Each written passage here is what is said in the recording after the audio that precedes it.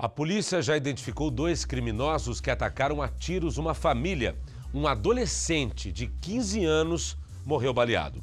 O pai dele e a irmã também foram feridos, mas sobreviveram. Os atiradores confundiram o carro da família com um carro de integrantes de uma facção rival. Com os pés feridos, o pai se despediu do filho e disse que nunca imaginou que isso aconteceria ao lado dele. A gente está acabando de fazer uma coisa que pai nenhum quer, entendeu? O coração está partido, não vou chorar mais, porque eu já chorei o que tinha que chorar.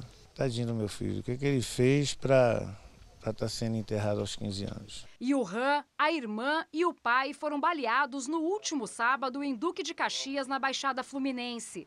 Eles iam passar o feriado de carnaval na região dos Lagos. Mas antes de pegar a estrada, foram buscar um amigo que iria com eles. Edmar e os filhos pararam o carro numa rua que fica entre duas comunidades comandadas por facções criminosas rivais.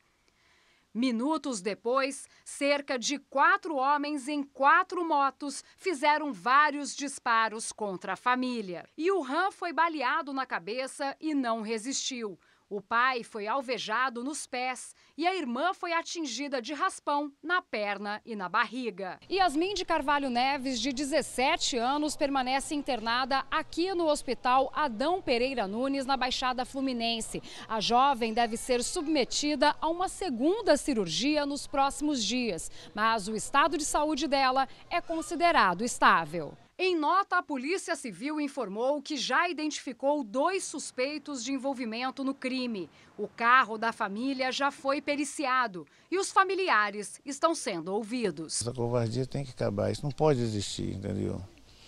As pessoas não podem tirar a vida do outro assim do nada.